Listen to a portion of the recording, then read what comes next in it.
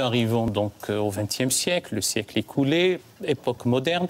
Quels sont les grands noms de la pensée iranienne à ce moment-là, Lélia Anvar Oh, il y en a un certain nombre, mais c'est vrai que celui sur lequel j'ai beaucoup travaillé et qui, occupe pour l'instant mes, journées, puisque je, suis en train de traduire son œuvre, euh, c'est Ostad Elahi, qui est né en 1895 et qui a eu cette originalité, euh, euh, à, ma connaissance, unique dans, l'histoire des, penseurs mystiques, à savoir qu'il a commencé à mener une vie hautement mystique, dans la retraite, la méditation, les ascèses, sous la houlette de son père, qui était lui-même un très grand mystique.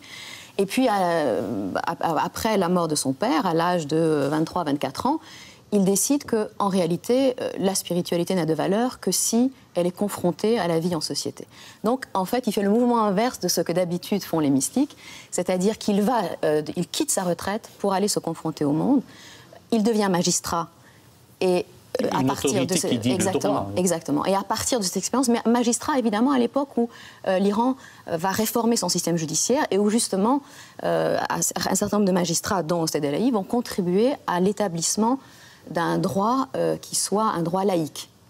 Et alors voilà un penseur qui est né évidemment dans une tradition musulmane, certes un peu hétérodoxe, puisque c'est une tradition euh, issue du Kurdistan, mais néanmoins euh, qui, résume au fond cette tradition, qui en est l'héritier et qui connaît parfaitement la théologie, qui est un grand lecteur de Molla Sadra, et qui va, à partir de toutes ses connaissances, à la fois théologiques, spirituelles, mystiques, et aussi de son expérience de la vie, surtout, donc élaborer une pensée euh, faite pour l'homme qui doit vivre dans la société. Et en même temps revenir, bien qu'il soit l'héritier de, grand, de la grande euh, veine soufie euh, iranienne, revenir à une réhabilitation de la raison comme axe fondamental du travail spirituel. Pour rester dans cette pensée moderniste en contexte iranien, quels sont les autres grands noms précurseurs de la Nahda, Christian Jandé Paradoxalement, dans le monde iranien, ce sont les penseurs, comme celui que vous venez de mentionner, au stade Elahi fonctionne, me semble-t-il, sous votre contrôle, comme ça, fonctionne autrement. C'est en prenant la totalité du monde spirituel qu'on arrive à neutraliser les ferments de fanatisme ou les ferments d'idolâtrie. Euh, bon. L'idolâtre, c'est celui qui n'a qu'une connaissance partielle. Donc les mouvements de laïcisation ou les mouvements de modernisation y compris les, figures équivalentes à la Narda euh, en, islam iranien, se sont heurtés au fond à l'impossible, à une contradiction, parce que du coup, les docteurs de la loi en face ont fait valoir la dureté, la sévérité du dogme. Et donc, on est arrivé à des conflits qui ont abouti, hélas, euh, où l'on sait. Il, nous reste dans la partie mystique et spirituelle Malekjan Nehmati, la sœur d'Ostadelaï. Euh, la pensée d'Ostadelaï était éminemment adaptée, au fond, à l'homme moderne.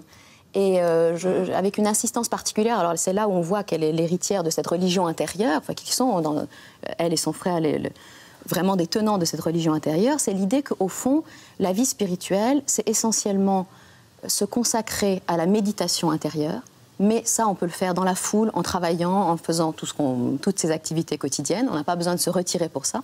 D'ailleurs, euh, Osed disait euh, finalement, euh, une année vécue dans la, dans la société vaut, les 12 années d'ascèse que j'ai faites dans ma, dans ma jeunesse. C'est dire à quel point c'est plus difficile.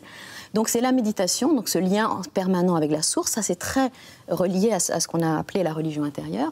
Et puis une exigence éthique euh, au quotidien, bien sûr, une, très haute exigence éthique. Et, a hérité de son euh, propre frère qui lui avait cette exigence. De son frère et de son père aussi, absolument. C'est-à-dire que c'est pas parce qu'on vit dans la société qu'il faut prendre la couleur de la société, évidemment. Il faut vivre dans la société, mais en gardant la plus haute exigence éthique et spirituelle.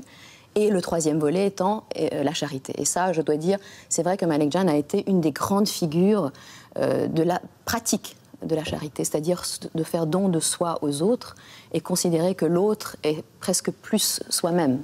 Et elle a œuvré pour l'égalité homme-femme et surtout pour que l'héritage soit euh, égal aussi bien pour les filles que pour les garçons. Oui, euh, que l'héritage, tous les droits et le droit à l'éducation aussi beaucoup. Et évidemment, j'insiste beaucoup là-dessus parce que euh, ça aussi, c'est une belle tradition euh, iranienne que celle de l'éducation. Hein. C'est très important d'éduquer. Et Malek Jan disait, oui, c'est très important d'éduquer, mais les femmes autant euh, que les hommes.